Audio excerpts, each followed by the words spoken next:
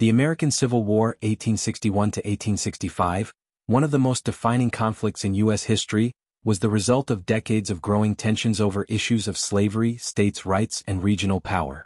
The road to war was paved by a series of political, economic, and social factors that ultimately divided the nation into the Union, northern states, and the Confederacy, southern states. The issue of slavery. The primary cause of the American Civil War was the deeply contentious issue of slavery. By the early 19th century the northern states had largely abolished slavery, while the southern economy depended on it, especially for labor-intensive crops like cotton and tobacco.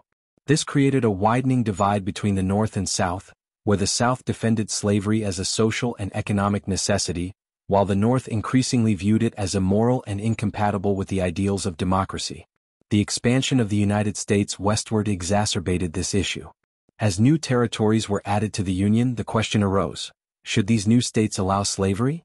The Missouri Compromise of 1820 and the Compromise of 1850 were temporary solutions, but they only delayed the inevitable clash. The Kansas-Nebraska Act and Bleeding Kansas. In 1854 the Kansas-Nebraska Act allowed settlers in these territories to decide for themselves whether to allow slavery, overturning previous compromises.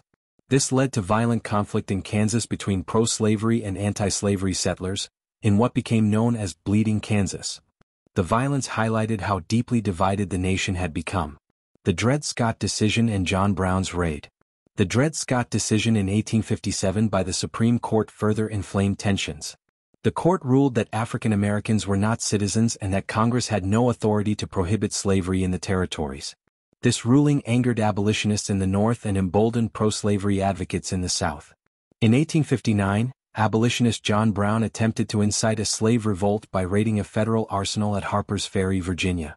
Although the raid failed and Brown was executed, his actions made him a martyr for the anti-slavery cause and heightened fears of a northern plot to abolish slavery by force. The election of Abraham Lincoln. The election of Abraham Lincoln in 1860 was the final catalyst for war. Lincoln, a Republican, opposed the expansion of slavery into the Western territories, although he did not initially call for its immediate abolition in the South. His victory, however, was seen by Southern states as a direct threat to their way of life. Fearing that slavery would be outlawed, seven Southern states, beginning with South Carolina, seceded from the Union and formed the Confederate States of America before Lincoln even took office. Secession and the outbreak of war. In April 1861, Confederate forces fired on Fort Sumter, a Union-held fort in Charleston, South Carolina, marking the official beginning of the Civil War. Lincoln called for volunteers to suppress the rebellion, and four more Southern states seceded, joining the Confederacy.